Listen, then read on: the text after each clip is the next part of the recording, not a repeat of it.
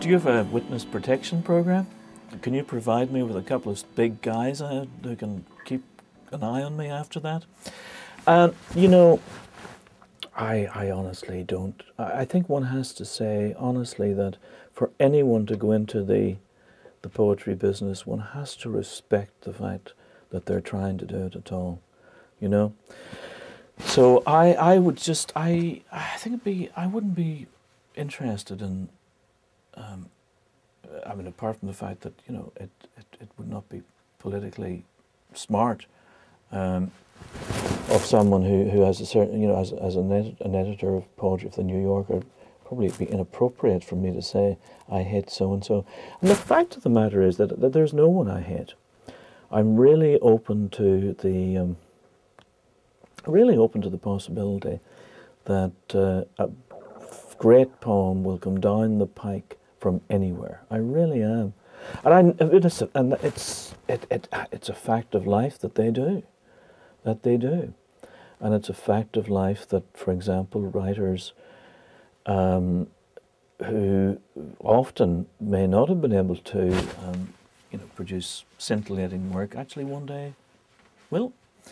Uh, so no one, and, you know, that goes from students, you know, one does not write off anyone. And that's largely because, apart from anything else,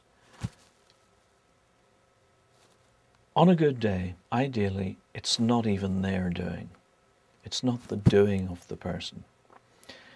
When the, only when the person, I deeply, deeply believe, only when the person has given herself or himself over to the idea that um, their in part in writing a poem is actually quite small.